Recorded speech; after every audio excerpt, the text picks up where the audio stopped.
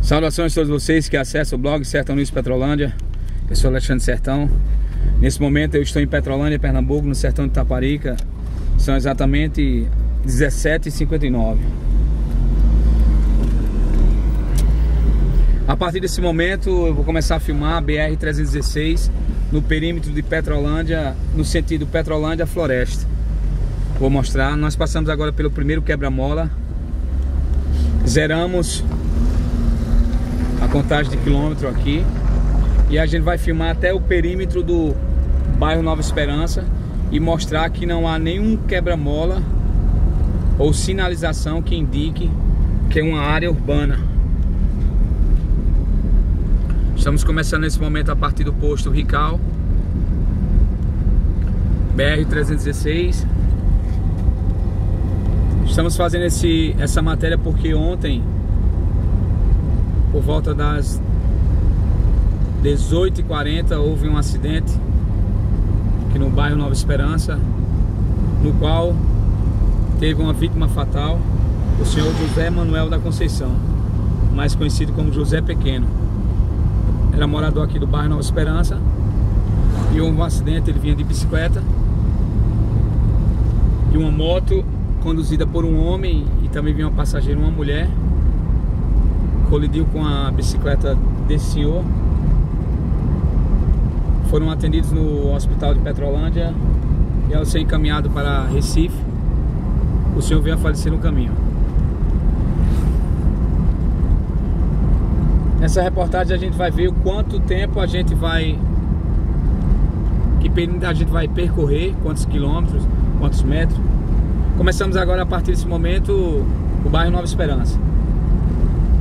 Decidimos fazer nesse horário para que vocês possam ver que não há iluminação nenhuma no perímetro.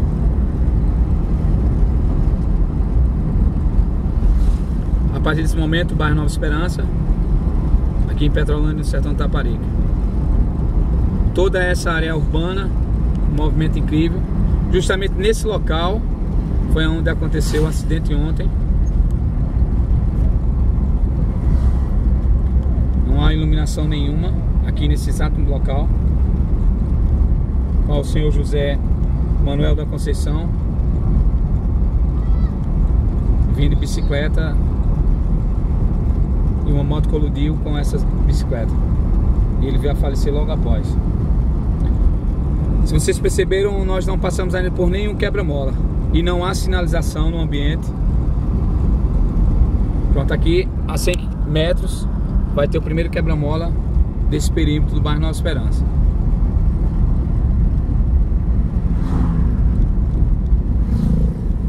Não é iluminação pública.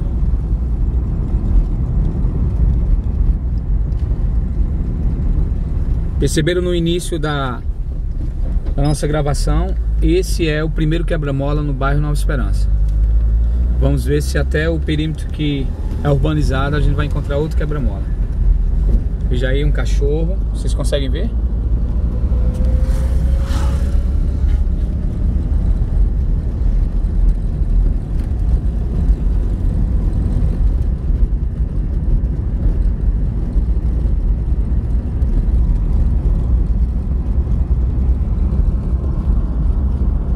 Repito, decidimos fazer essa reportagem nesse momento por conta que queremos mostrar que não tem iluminação pública todo esse perímetro.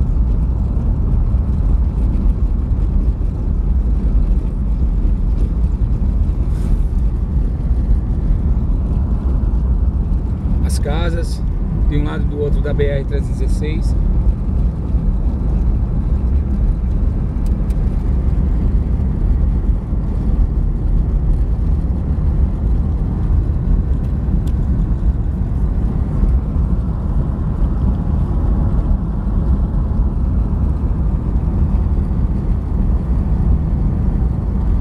mais de 15 anos há pessoas residindo aqui no bairro Nova Esperança.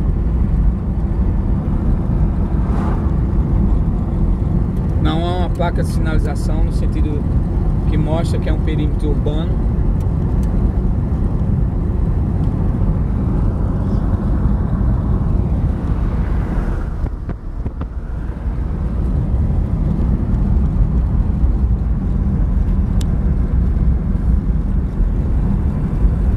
Além de muitas pessoas que trafegam por aqui, também animais, pessoas com charretes, bicicletas, motos.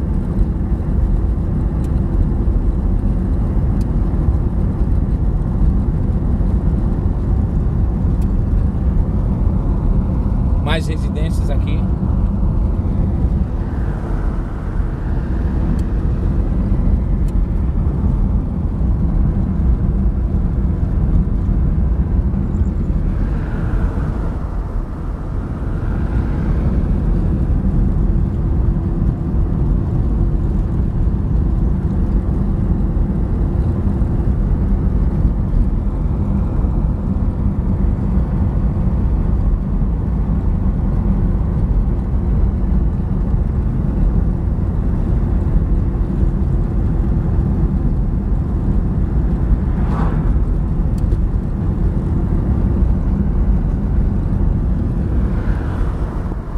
local que nós estamos passando aqui também faz parte do bairro Nova Esperança, mas ainda não há residências construídas.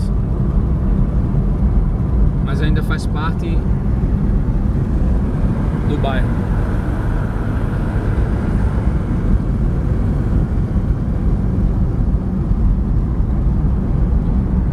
BR-316, quilômetro 361. Vamos novamente começar a chegar em residências.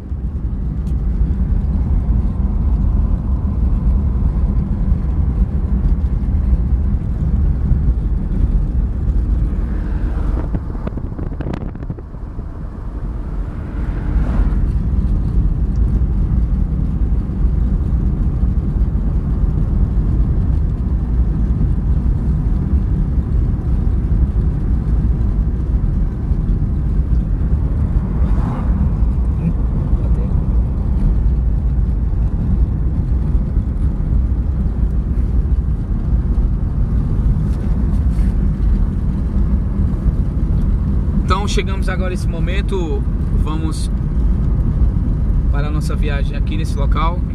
Aqui é o aterro sanitário do município. Se localiza aqui do lado direito.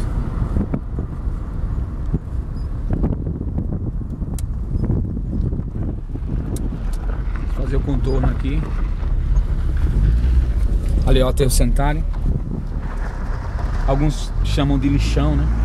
Mas na verdade não é um lixão. Peço que você, por gentileza, é, poderia nos informar quantos, quantos Quatro. andamos? 4 quilômetros. 4 quilômetros. Então, lá do, do posto Rical até aqui o aterro sanitário Petrolândia, nós rodamos 4 quilômetros.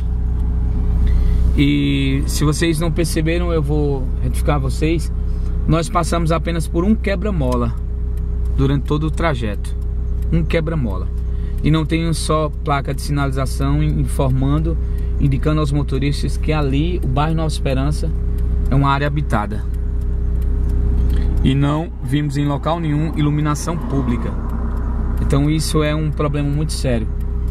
O DENIT, o órgão responsável, deveria tomar providências em providenciar quebra-molas e também o município, a gestão pública, junto com a companhia que seja, seja qual órgão for, tem que tomar providências, porque ontem o senhor José Manuel da Conceição perdeu sua vida justamente em um local escuro né, e que não tinha nenhum tipo de quebra-mola.